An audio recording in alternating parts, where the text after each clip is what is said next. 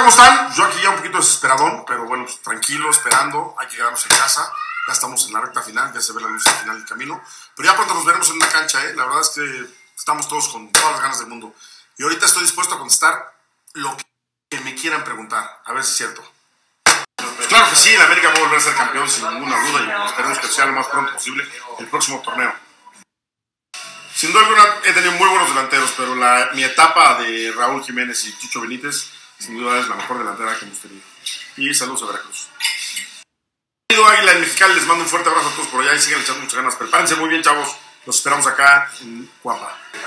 Yo creo que Giovanni sí puede ser un referente de la América, pero bueno, tiene que trabajar muchísimo y agradarle a la gente. Él sabe que tiene el fútbol, que tiene la técnica y que tiene todo para ser referente, pero en él está. Al Chile no le voy al América, al Chile le voy al Atlante, pero al Chile también tengo metido en el corazón ya al América.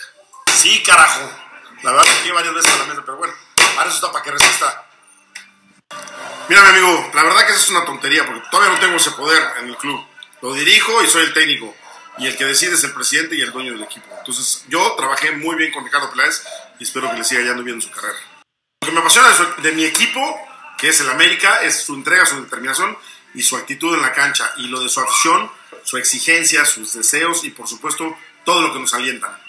Nunca estoy pensando en la remontada porque sé que el equipo siempre sale a ganar. Hay veces que hay que venir de atrás, pero siempre la actitud de los muchachos demuestran que nunca bajan los brazos. La cuarentena va, siempre... Nah, no sé. Vamos bien, vamos bien, tranquilos, sin desesperarnos, sabiendo que ya estamos cerca de poder salir otra vez a entrenar y por supuesto jugar. Saludos.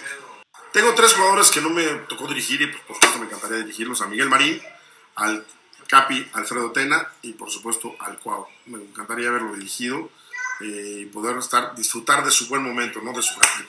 Mi etapa con el Atlante fue extraordinaria, ¿verdad? Me tocó jugar seis años ahí y por supuesto además me, me dieron la oportunidad de ser técnico. Por supuesto que me encantaría ir a un Mundial de Clubes con el América y con ese plantel tendremos mucho que hablar ahí.